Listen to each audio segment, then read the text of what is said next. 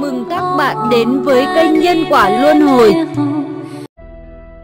Phân thân tập hội Phẩm thứ hai Hóa thân cùng quý thuộc Lúc đó, phân thân địa tạng Bồ Tát ở các nơi có địa ngục trăm nghìn muôn ức, bất khả tư, bất khả nghị, bất khả lượng, bất khả thuyết, vô lượng vô số thế giới đều đến hội họp tại cung trời đao lợi.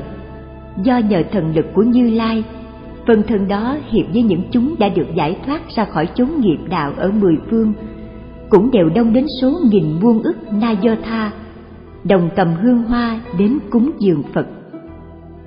Những chúng cùng đến với phân thân đó, thảy đều nhờ địa tạng Bồ Tát giáo hóa, làm cho trụ nơi đạo vô thượng chính đẳng chính giác, trọn không còn thối chuyển.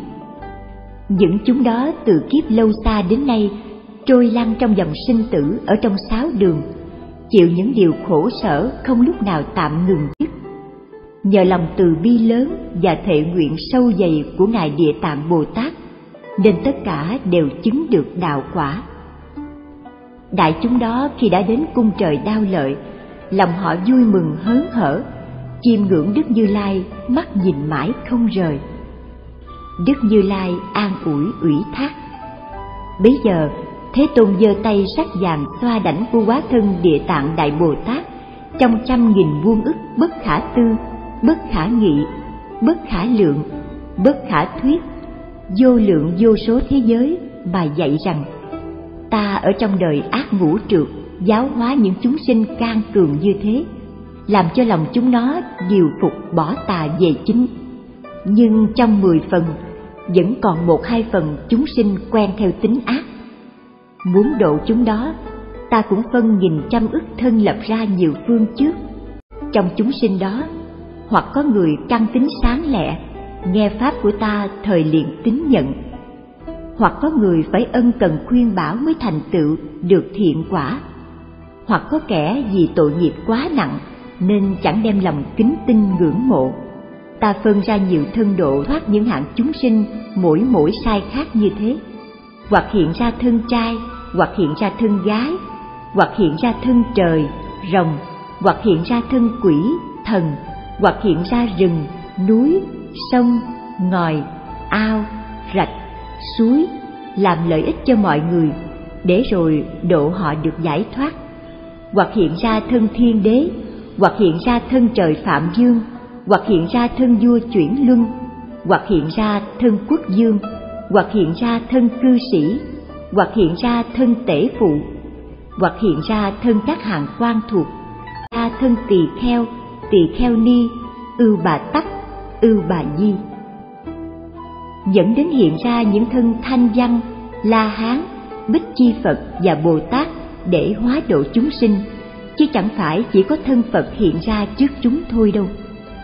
Địa tạng, ông xem ta đã trải qua bao số kiếp nhọc nhằn độ thoát những chúng sinh can cường đầy tội khổ, khó khai hóa như thế. Ngoài ra, những kẻ chưa điều phục được, thời phải theo nghiệp thọ báo. Nếu khi chúng nó có bị đọa vào đường dữ, chịu nhiều sự thống khổ, thời ông nên nghĩ nhớ ta ở cung trời đao lợi, ân cần phó chúc cây.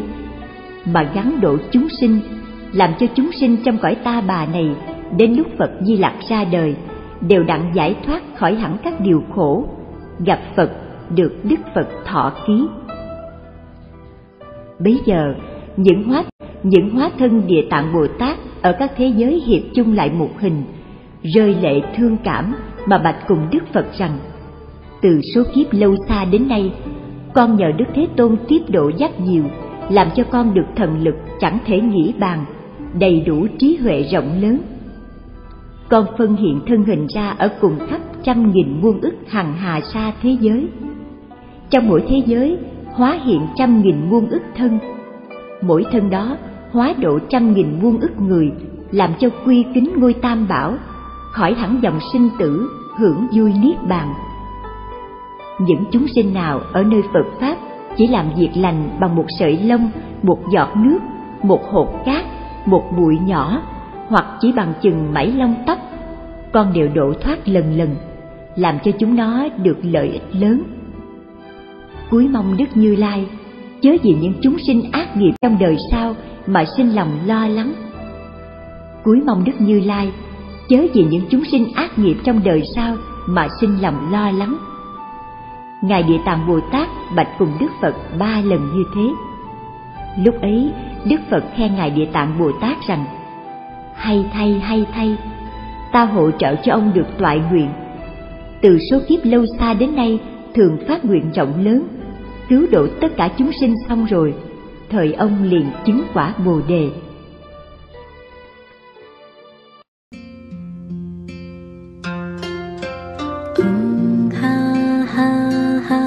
Hãy subscribe cho kênh